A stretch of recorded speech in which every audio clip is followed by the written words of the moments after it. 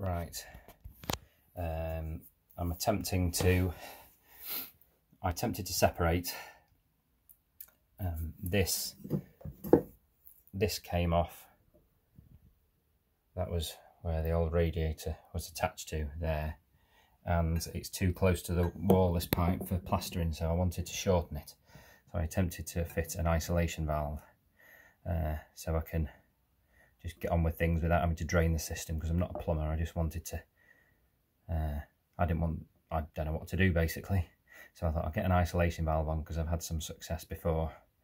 Um, I took a punt on which pipe to freeze because both of these, as you can see, it comes from the left and the right into the feed up to the radiator. Both pipes seem to get as warm at the same time. I haven't got many radiators, I've got underfloor heating, so I don't know if that's anything to do with it, but I just couldn't tell. Took a punt, went for the left-hand side, and I've seen another video on YouTube about using canned air. there it is, uh, from the pound shop. However, it's the, what's the date now? I think it's the 18th of August, 2020, and uh, I went back for some more, and they've stopped selling it in the one that I went to, but it was just a pound. I got some... Uh, insulation foam 15 millimeter insulation for the 15 millimeter pipe. Got a twist tie uh, not twist tie a cable tie on either end. And I tape the I tape the hole shut as well. The, I tape the gap shut with some is it, uh, is it gaffer tape? And uh, I just made a little hole push the uh, red straw into the um, jacket of the insulation uh, aimed to, for it to touch the pipe and I just slowly sprayed it in. Uh, I think it probably would be best if I did it again if I taped the whole um, insulation jacket with this white tape because uh, as I was spraying it you could see it leaking out. You keep more in if you taped it. But uh, both ends of these have got cable, but the other end's got a cable tie on as well, as tight as I could get it. And I just slowly filled it um, uh, with and also you use this upside down because you don't want the air you want the propellant. And the air when it's upside down the canned air the air's on top and it expands pushing the propellant out. And when the propellant hits the pipe uh, it evaporates cooling it down. Endothermic reaction I believe. And um, I waited for five minutes. It seemed to not have frozen. I started to loosen this pipe that was attached you see this part that was attached to started to loosen um,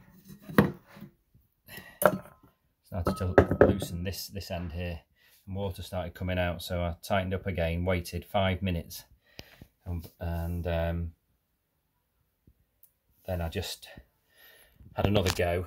A little bit of water came out seemed a little bit different not quite as much so I just went with it loosened it completely lifted out this piece and then you could see the flow slowly stopping.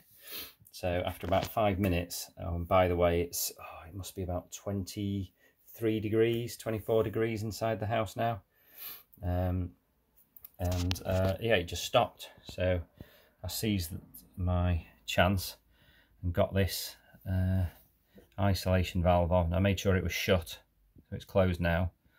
Uh, I think closed uh, you can tell it's always these valves, you know they're always closed, I believe, because the uh, that line goes across the pipe. So you can see it, that's the direction of the pipe and it goes across it. And I know it's shut uh, as well because I checked it uh, visually. Um, I believe the, um, I think about by now the um, video's been, it's been about 15 minutes now since I froze that. I'm going to loosen this screw and see if it's still frozen.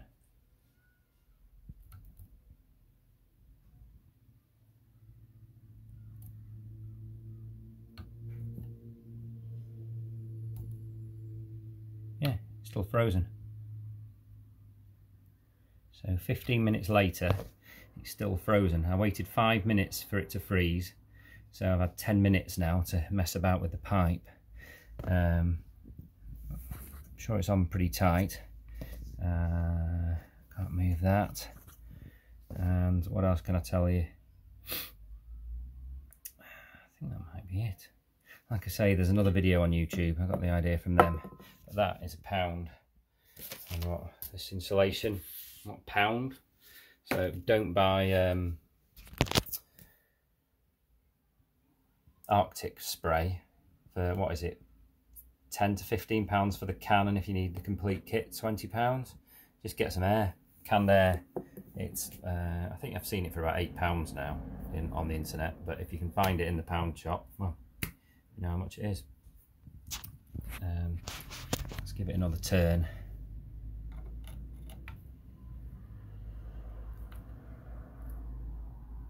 If I remember, I'll come back to it and post again to let you know how long it lasted. There we go.